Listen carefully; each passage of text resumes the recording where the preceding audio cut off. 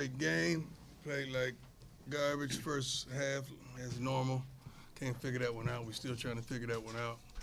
Came back in the second half and uh, got it all together. I'm thankful that for some kind of way we always win the toss where we defer to the second half and we're able to go down the second half, take it down and score, and then the rest is history. Then we commence to playing like we're capable of playing. Uh, great job by uh, Mississippi Valley and Coach Dancy. He fought his butt off, had his team, uh, they played tough, they didn't quit, they didn't give up not one bit, and uh, hats off to him. Coach, let me uh, ask, uh, through the first four games of the season, uh, you mentioned that uh, you guys have played well, but you haven't dominated per se. Uh, how would you, uh, how would you grade this team thus far? Did- Thus far, uh, let's just take one now. Um, today was probably like a C plus, if I'm a, if I'm a teacher. C plus. We did some positive things. We did some really good things, but uh, first half we got to figure that out. We really got to figure that out. And, and it's not just me. The, the the young men they're not satisfied with how we're coming out in the first half as well. You called a timeout for about seven minutes in the first quarter on defense. What was your message? we got to get it together. We're, we're gap control. A Couple guys just trying to do their own thing and not just being disciplined and not being smart. And it's gap control. They're out of the gap. You know, one one the thing about football, it, it, the Bible says all things work together for the good of those that love the Lord. Football the same way. All things work together. So when one guy misses a gap or misses a block, it affects everyone.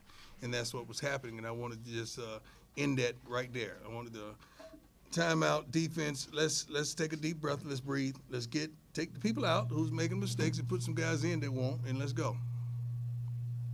Coach Snyder, you got a career high for incompletion. He's right there. You know, what's working for you well right now? Can you kind of walk me through just, you know, the type of you have with your new OC and what's working for you right now? really just getting the ball in my hands, taking the completions, taking the easy throws, and uh, that just builds up and builds up and builds up over time. Then you get career high games. Shedeur, talk about the chemistry that you built up with Dallas. Oh, Dallas, he like I said uh, last week, he, he's an all around player. He knows exactly what I'm thinking all the time, and he we see out the same pair of eyes. So that's how he's able to be successful on a lot of plays that we're out there together. We have good chemistry. Hey Dallas, why is uh, Jackson State a good fit? Jackson State was a good fit for me. Like when I was doing my re- uh, research on him, like I heard Coach Barry Bartolone coming in, and he was like coming from Nevada Air Raid. So my last season, I wanted to be somewhere where they throw the ball a lot, and then it was a fit for me, and it's just the atmosphere and then the players and stuff when I came on my visit. So that's why I made the decision to come. Dallas is a darn pro. He's a pro. I know what it looks like. I've been there. I did it for 14 years on the field. I did it for 14 to 15 years um, broadcasting and, and journalism uh, with CBS as well as NFL Network. I know what it looks like. This kid is a pro. I mean, he's an NFL player. Never complains, runs routes, could work the inside, could play in the slot, he could play outside. You, you, you get off him, he gonna route you up. If you bump him, he gonna give you some in the line. Runs after catch, ain't scared to block. Um, he's a darn professional. Never cries about the ball. Once once he got here, he took a, a silent. He was a silent leader. Then he built, grew into his leadership role with the receivers. The kid is a pro. Dallas, what's been the difference uh, the last two games as opposed to the first two games? Last two games, really preparation. So first two games, we but we gotta be more, watch more film, and just stay on our opponent. We can't never uh, doubt no, nobody who we play against, and just prepare, prepare right and just keep going. Shedeur and Dallas, what is it about the third quarter that's just been able to work for you guys? Last game and just with Well, I only I only can answer like what we did this game, like last game that was behind us, but it's really just just getting settled in the game, understand what the team's doing, uh, whatever on film. Whenever we go into each week, they do something different than they, they did on film before. So really understanding what they're doing, why they're doing, and uh, go out there making adjustments, and that's what you see. Really just letting the game come to us and just play the game. Like first half, we come out a little antsy, but like going into halftime, we know we gotta make some corrections and come out on, on top. So we just gotta keep playing. We gotta bring that into the first half, and like we do in the second half. The running game has been really of the passing game.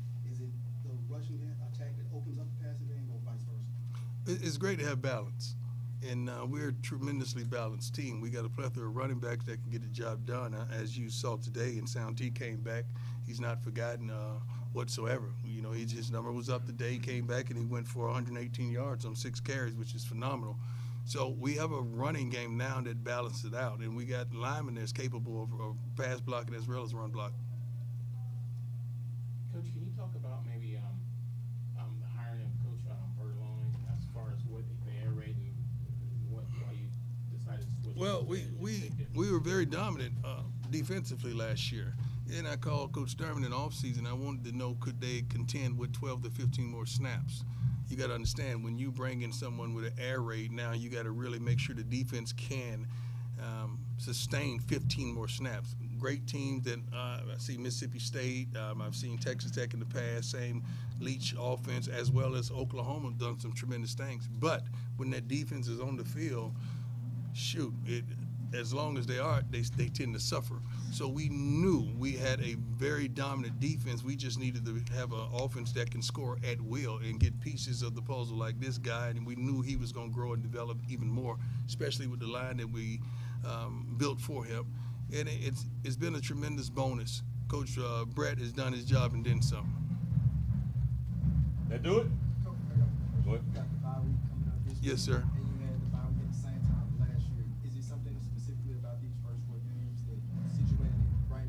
I, I don't make the schedule. I, I wish I did. Um, I love the fact that we're going to play Alabama State for their homecoming. I love it. Quote me. I love it. Coach, can you talk about, um, when we might see Shilo and Travis Hunter?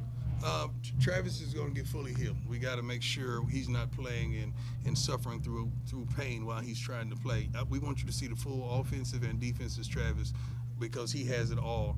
Um, Shilo has to get back healthy. Um, who else? Who else we got? True, yeah, true. A big, big nose tackle. Yeah, we, we really think, indoor, we, we really think um, after this bye week, you may see four players that you hadn't seen in quite some time, and Shilo may be one of them. I don't know if Travis is on that time schedule or not, but I cannot wait till you get to see us in its totality. Thank you very much. God bless you.